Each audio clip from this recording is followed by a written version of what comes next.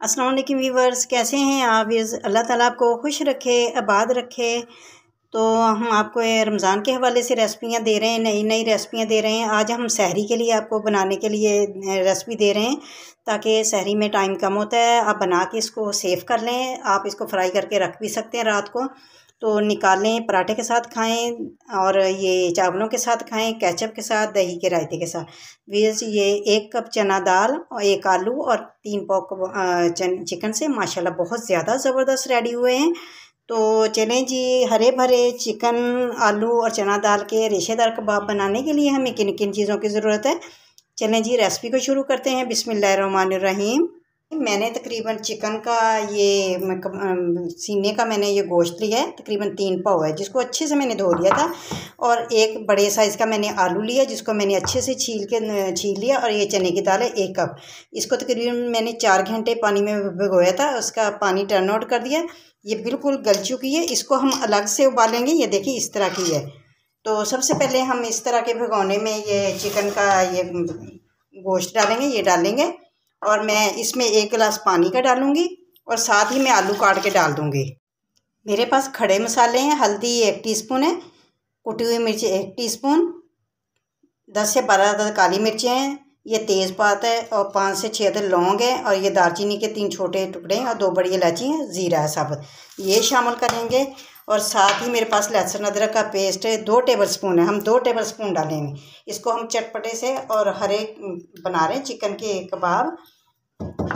और इसमें मैं अब आलू को डालूँगी। आलू को काट के डालती देखिए जी, मसालों को मैंने डाल दिया। नमक मैं अभी इस एक टीस्पून डालूँगी क्योंकि हमने इसको फ्रीज़ करना है फ्रोज़न करना है।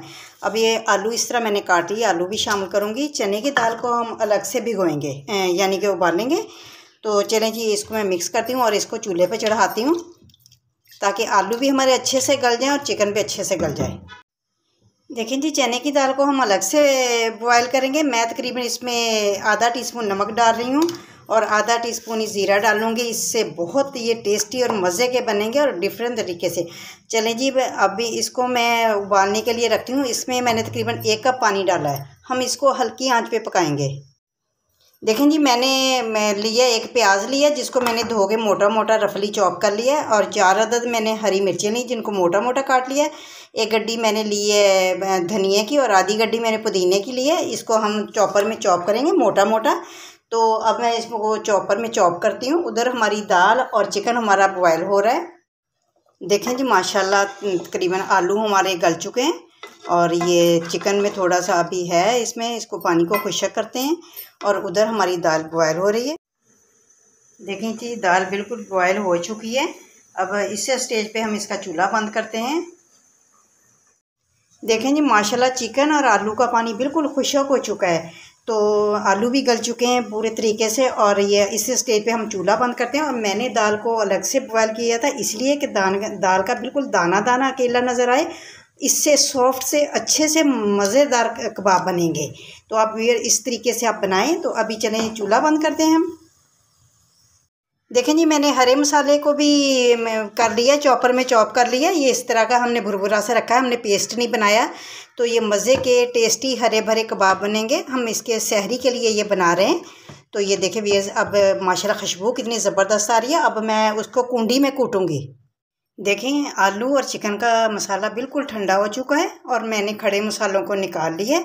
अब इस तरह की हमने कुंडी ली है, इसमें कूटेंगे ताकि हमने ये रेशेदार कबाब बनाने हैं। अगर हम चॉपर में करेंगे तो ये इसके रेशे ख़त्म हो जाएँगे। चले, मैं इस तरह इसमें कुंडी में डाल के आपको कूट के दिखाती हूँ।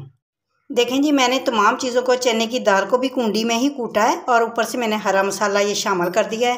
कुंडी का काम अब हमारा ख़त्म हुआ। वीर ये कुंडी में आप कूट के बनाए तो बहुत टेस्टी और वंडरफुल और डिलीशियस बनेंगे। क्योंकि वैसे तो चॉपर में हर चीज़ चॉप हो जाती है, लेकिन ये हाथ की तो मेहनत है, लेकिन मज़ेदार टेस्टी बनते हैं। तो मैंने इसमें शामिल कर लिया और मेरे पास ये अब इसको और इसका जायका बढ़ाने के लिए मेरे पास है। ये तकरीबन मैंने लिया चाट मसाला लिया एक टीस्पून, काली मिर्च आधा टीस्पून और ये कबाब मसाला ये मैंने घर पे तैयार किया ये एक टीस्पून और ये मेरे पास सूखा धनिया ये शामिल करूँगी और मैं इसको हाथ की मदद से अच्छा से, अच्छे से मैं मिक्स करती हूँ।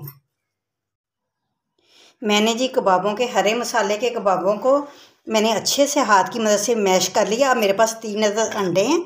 हम अंडे इसमें शामिल करेंगे, ऊपर से नहीं लगाएँगे। तो ये अंडे शामिल करने से टेस्ट भी बहुत अच्छा आएगा, ये फूले फूले से भी बनेंगे और टेस्टी बनेंगे। तो वे, अभी मैं दो अंडे डालूँगी, फिर मैं, अगर मुझे गुंजाइश हुई तो मैं तीसरा अंडा डालूँगी। देखें जी, मैंने दो अंडों को फेंटा है अभी, अगर मुझे गुंजाइश हुई तो मैं तीन अंडे शामिल करूँगी। अंडे हम इसके बीच में इस्तेमाल करेंगे, डालेंगे। अंडे डालने से पहले आप इसको नमक चेक कर लीजिएगा। कि अगर हल्का खाना चाहते हैं तो आप अपनी मर्ज़ी से नमक का टेस्ट रख सकते हैं। तो मैंने हाथ की मदद से इसको अच्छे से मिक्स कर लिया। अभी मैं अंडों को डालूँगी इसमें। हम तीन अंडे नहीं डालेंगे। अगर गुंजाइश हुई तो हम तीसरा अंडा डालेंगे। अब मैं हाथ की मदद से अच्छे से मिक्स करती हूँ। देखें जी, माशाल्लाह, चिकन, आलू, चना, दाल का बैटर रेडी हो चुका है। हरे भरे कबाबों का। तो हमने दो अंडे इस्तेमाल किए हैं। एक अंडा हमारा बच गया, यानी कि दो अंडे लगे हैं। तो जब हम फ्राई करेंगे, ऊपर से हम अंडा नहीं लगाएँगे। ऐसे ही फ्राई करेंगे, ना ये टूटेंगे, ना ये भुरभुरे होंगे। तो चलें जी, सबसे पहले ये पानी का हाथ लगाते हैं। पानी का हाथ लगा के मैं इस तरह मैं बैटर उठाऊँगी। पहले मैं हाथ की मदद से ऐसे इसको घुमाती जाऊँगी। व्यर्स कबाब आप छोटे या बड़े आप रख सकते हैं। आप जिस तरह की भी शेप देना चाहें, दे सकते हैं। मैं इस तरह की बिल्कुल शामी कबाब की शेप दूँगी। माशाल्लाह, ऊपर से ऐसे मैं प्रेस करूँगी। ये देखिए व्यर्स ऐसे घुमा के तो मैं इस साइज़ के बनाऊँगी।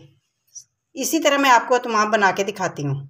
देखें जी, रेशादार हरे भरे चिकन के कबाब बिल्कुल रेडी हो चुके हैं। एक कप चना दाल और एक आलू, तीन पाव चिकन से माशाल्लाह ये मैंने तकरीबन बाईस कबाब रेडी किए तो माशाल्लाह ये बड़े, काफ़ी बड़े बड़े मैंने बनाए। अब छोटे इसको छब्बीस, सताईस भी बना सकते हैं।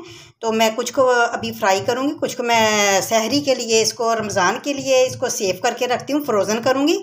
तो चलें जी, अब हम इसको फ्राई करने का मरहला शुरू करते हैं। देखें जी आयल गर्म हो चुका है।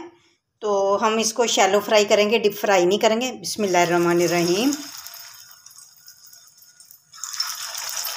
माशाल्लाह, हरे भरे, रेशादार, बहुत ही ज़बरदस्त हम आपको रमज़ान की रेसिपी दे रहे हैं। चिकन के कबाब, बहुत मज़ेदार रेसिपी है। देखें जी, चिकन रेशादार, हरे भरे कबाब रेडी हो चुके हैं अब इसको हम निकालते हैं। इसी तरह मैं दूसरा बैच डालूँगी। ये निकाल के हम आपको दिखाते हैं। देखें वीयर्स माशाल्लाह हमने डिश आउट कर लिया है। माशाल्लाह ये देखिए चिकन रेशादार हरे भरे कबाब बिल्कुल रेडी हो चुके हैं। माशाल्लाह ये देखें वीयर्स तो ये एक कप चना दाल और एक आलू, तीन पाव चिकन से बहुत ज़बरदस्त बनी है। और अगर आप मेरे चैनल पे नए हैं सब्सक्राइब कीजिएगा और बेल आइकन को प्रेस कीजिएगा ताकि आने वाली वीडियो का नोटिफिकेशन आपको मिलता रहे। पूरी वीडियो को वॉच कीजिएगा शेयर कीजिएगा लाइक कीजिएगा। शुक्रिया। ये देखिए, बिस्मिल्लाह, माशाल्लाह। ये देखिए कितने ज़बरदस्त अंदर से हरे भरे जूसी और ऊपर से ये क्रिस्पी बहुत मज़े के और टेस्टी बने हैं। तो वेयर्स मेरी रेसिपी को इसी तरीके से फॉलो कीजिएगा और बताइएगा कैसी लगी हमारी रेसिपी मुझे दीजिए इजाज़त, दुआ में याद रखना। अल्लाह हाफिज़।